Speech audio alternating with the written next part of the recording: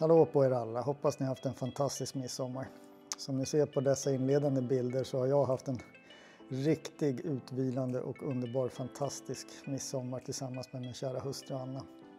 Barnen, ja de är lite utflugna, de är lite för gamla helt enkelt för att hänga med mor och far. Men jag och Anna har haft en underbar helg med mycket kärlek och god mat.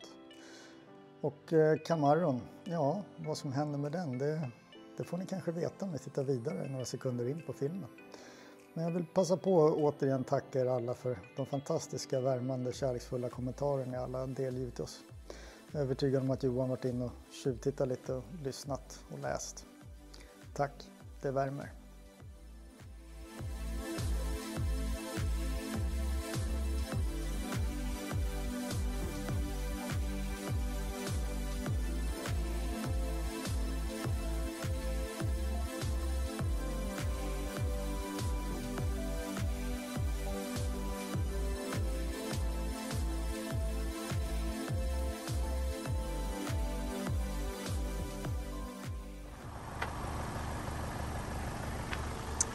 Ja, som av en händelse så passerar vi då olycksplatsen när vi har varit iväg och firat midsommar med husbilen här. Tänkte se om, om de här små plastbitarna ligger kvar här. Men jag är fortfarande nyfiken på vad det var som har slagit så hårt i höger, höger golv där. Här hade vi grejer.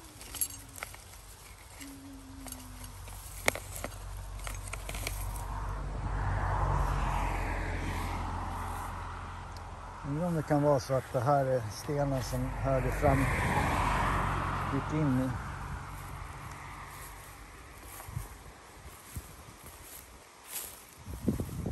Här har det tagit rejält stopp också. Här ligger en hel del plast. Ja, det är från kylkåpan det där. Märkligt. Ja, jag har nog aldrig fått reda på åt vilka håll den har gått. Men eh, det slutade bra, man får vara nöjd med det.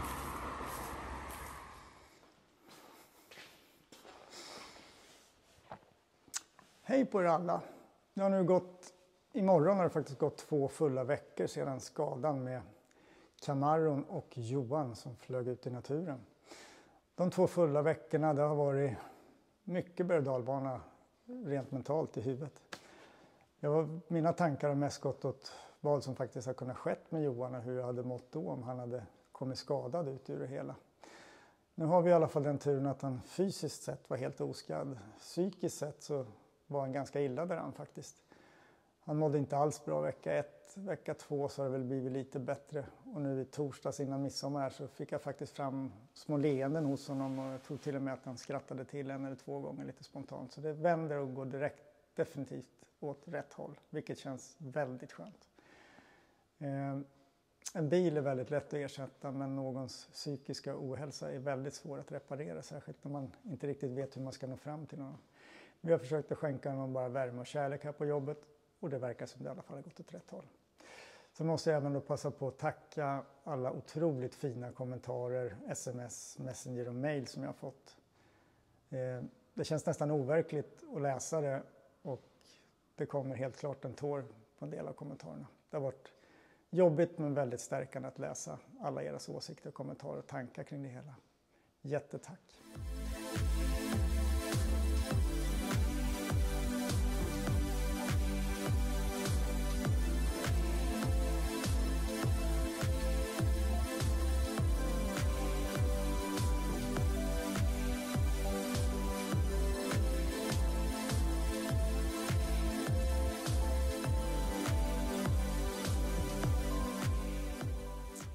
Väl kanske även då ta tillfället i akt i denna film och belysa hur viktigt det är att ha bilen försäkrad hos ett försäkringsbolag som, som förstår och uppskattar bilhobbyn och allt den står för.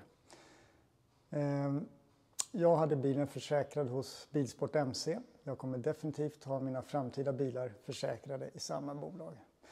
Och mycket av det är ju faktiskt för vad de själva nu har visat att de lever upp till när olyckan väl var framme och katastrofen infann sig. Deras bemötande från första till sista kontakt har varit top notch. De har, varit, de har visat stort medlidande, de har varit medmänskliga, de har varit professionella och de har varit väldigt trevliga och bra att ha att göra med på alla sätt och vis.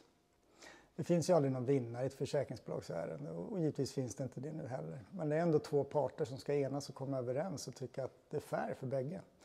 Och där måste jag säga att Janne Hedbom då, som har varit min skadetecknare har varit en väldigt bra person att ha att göra med. Han har lyssnat, jag har pratat, han har pratat och jag har lyssnat.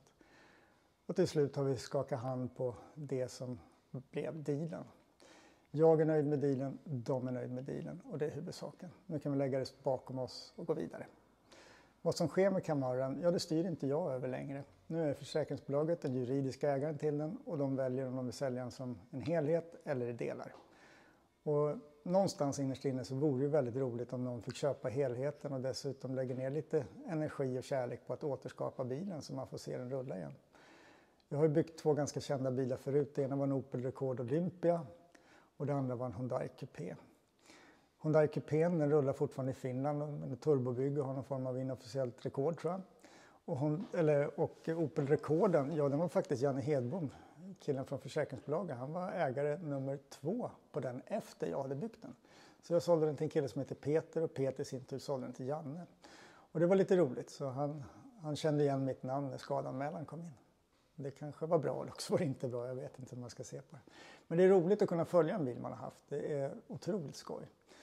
Jag ska se om jag kan hitta några bilder på Olympian för den var faktiskt i kanonskick sist jag såg den när den gick från Finland till Norge. Så nu är den lite närmare granne faktiskt. Och den lever än idag.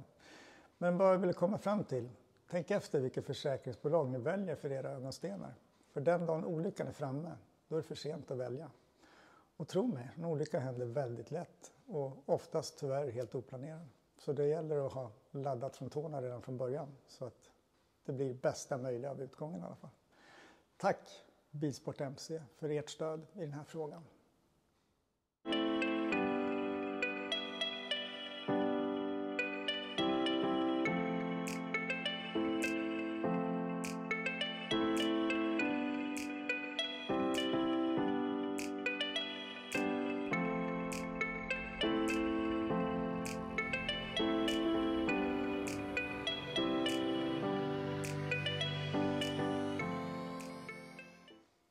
Eh, jag själv då? Ja, jag har faktiskt kommit till insikt att jag har en hel veckas semester, vecka 28, när jag inte ska köra Street Week för jag har ingen bil.